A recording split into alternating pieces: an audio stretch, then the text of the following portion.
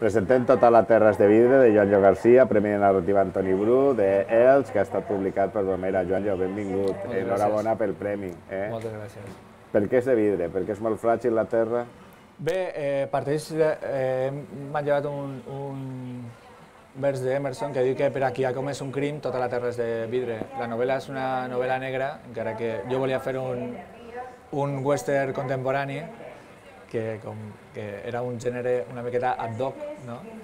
I estic molt content, per, sobretot perquè el premi el va rescatar l'Associació Cultural El Tempir, d'Ells, que va llançar un Verkami perquè l'Ajuntament havia deixat de, de finançar el premi i va respondre molta gent d'arreu del país, aportant pues, el que ben podia i, i s'ha re, reviscolat aquest premi, després l'Ajuntament de fet eh, publicarà ara el, el següent i estic una miqueta content de, de participar no, d'aquest xicotet miracle que parla del que ha sigut les últimes dècades a, a, al país, no? que, que, que sí que hi havia algun martell, algú amb un martell, amb una massa, intentant trencar-nos la terra. No?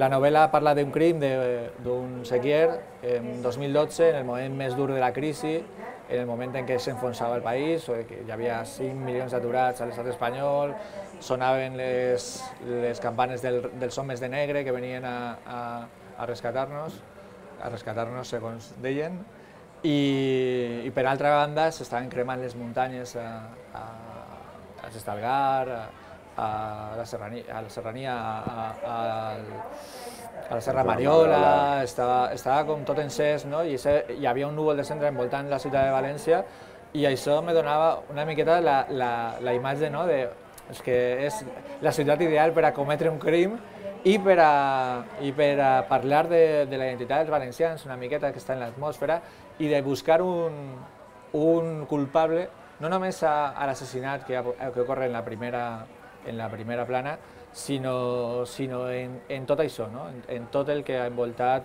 aquestes dues dècades de- d'enfolliment urbanístic, de crims sense, sense, bueno, sense vergonya i amb total impunitat. I ahir per esbrinar t'inventes a l'inspector Adrià Fabré, no, perdó, Ah, al periodista i a l'inspector Echevarri. Sí. Eh? Com varen arribar ahir estos nous eh, Personatges. Sherlock Holmes i el doctor Watson? Bé, arriben una miqueta per casualitat i són personatges que estan també en aquesta franja de, de, de sentir-se fracassats. No? Un està ve d'un desamor, el periodista, i també m'ha interessat que fos un periodista perquè se suposa que els periodistes, ell encara és una persona que té, que té l'utopia aquesta de, de la funció social del periodista com tal, i ell, en canvi, el, pre- el, el, l'inspector Echevarri és el contrari, no? un policia que ja les ha vist totes i que i m'interessava jugar amb els contrastos, no? de posar-los a treballar en comú, encara que, que no se feien amics i encara que